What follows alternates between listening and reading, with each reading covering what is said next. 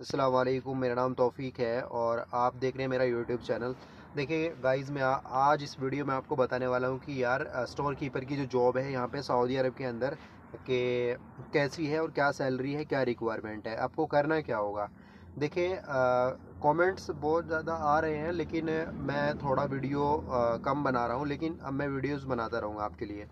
इसमें होता ये है कि आपको स्टोर कीपर में जो सैलरी रहती है बेसिकली यहाँ पे वो पंद्रह सौ, दो हज़ार, तीन हज़ार रियाल तक भी रहती है, ठीक है? तो अच्छी खासी इंडिया की बन जाती है इंडिया पाकिस्तान, बांग्लादेश, जहाँ भी ये वीडियो आप देख रहे हो। तो इसमें यह होता है कि आप किसी शॉपिंग मॉल में या फिर आप किसी कंपनी के अंदर कोई स्टोर होता है, ठीक है? उसको मैनेज करते हैं इन्वेंट्री आप देख, देखते हैं स्टॉक में कितना माल है, कितना नहीं है, कितना आउट ऑफ़ स्टॉक जा चुका है, वो सारी नॉलेज आपको होनी चाहिए। इसमें, ठीक है? और अगर आप ट्वेल्थ हैं या फिर आपके पास में कोई डिग्री है तो ग्रेजुएशन है तो वो भी चल जाएगा, कोई इशू नहीं है। ठीक है जी?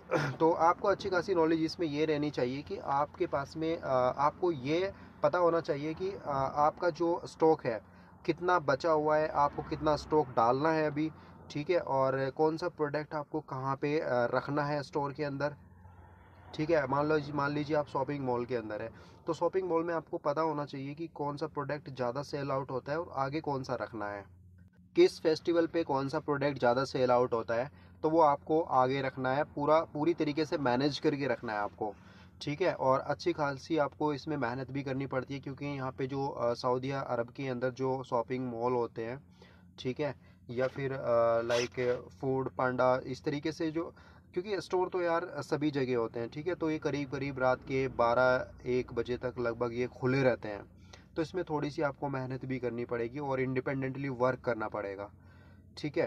तो ये रिक्वायरमेंट रहती है और इसमें आप अप्लाई कर सकते हैं, अल्हम्दुलिल्लाह, आपको जॉब मिल सकती है, ठीक है? मैं भी इंशाल्लाह आपकी हेल्प करूँगा यहाँ पे, अगर आपको कोई इश्यूज़ आते हैं सीवी बनाने में या फिर आपको जॉब फाइंड करने में कि कौन सी वेबसाइट पे जाके अप्लाई करें या नहीं करें, ठीक है? वो भी मैं आपको हेल्प आउट करता रहूँगा, ठीक है? बाकी आप मेल आईडी डिस्क्रिप्शन में मैं दे दूँगा, उस पर आप कांटेक्ट कर सकते हैं और मैं इंशाल्लाह हेल्प आउट कर दूँगा यहाँ पे, ठीक है? बाकी आपको मेहनत खुद ही करनी पड़ेगी यहाँ पे तो इंशाल्लाह काम हो सकता है, ठीक है भाई?